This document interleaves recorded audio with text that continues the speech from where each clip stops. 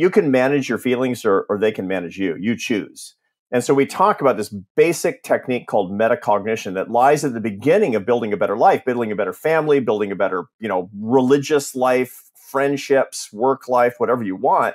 That starts with understanding that that you have feelings all the time. You have feelings that come from the limbic system of your brain, a very ancient system that's that's uh, that takes outside stimuli it turns them into feelings so that you can react to them appropriately it's a natural human language across all cultures you know, uh, uh, fear, sadness, anger, disgust, joy, interest, these basic emotions, we all have them.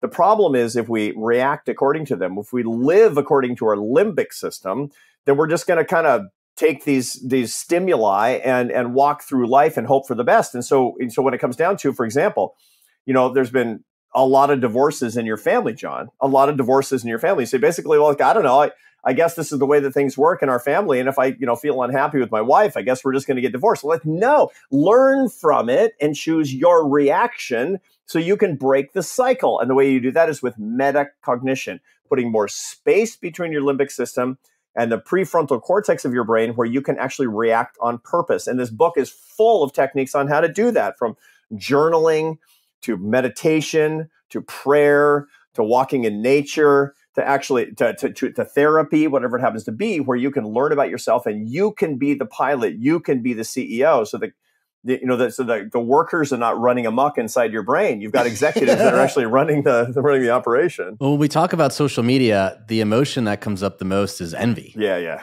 Totally. Because for the first time in our lives we're being confronted with how everyone else on the planet is living. You could pick up your device at any moment and see what people across the world are doing and how much more they have than you.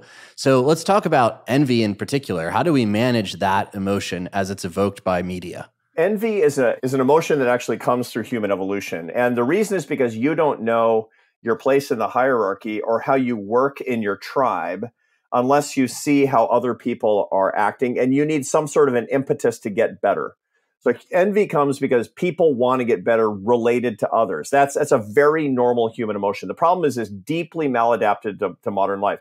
We're not worried about getting thrown out and walking the frozen tundra alone and dying. You know, we're talking about about how many Instagram followers you have. I mean, it's idiotic.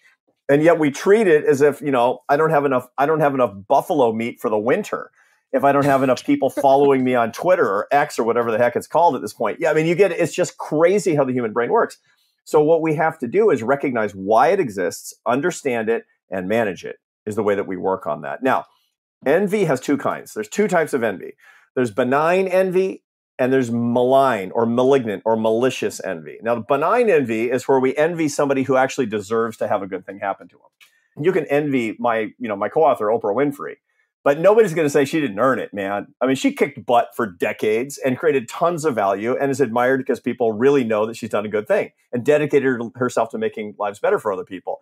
Astronauts, you know, this kind of thing. And then fill in the blank on anybody who didn't earn it, which is the reason when you pick up, you know, these magazines, you know, Us Weekly or something, and it's like the scandal of the week from some person who's famous for being famous, and you're like, yes, right?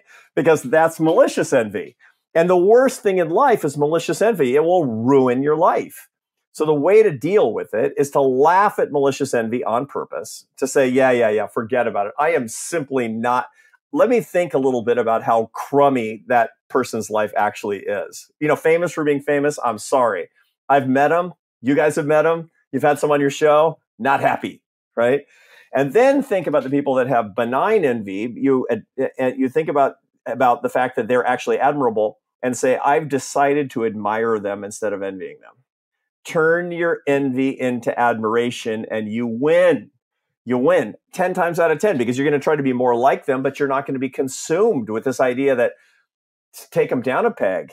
You know, that and so that's the way to do it. You disregard through reality the people with whom your envy is malicious and you turn your envy into admiration for the people who are on the good side of the ledger, and then you start to win. The other way to look at that as well is if you get consumed by the malicious envy, it takes you off of your path and puts you on their path. Yeah. And you cannot beat them if you are on their path because it is their path.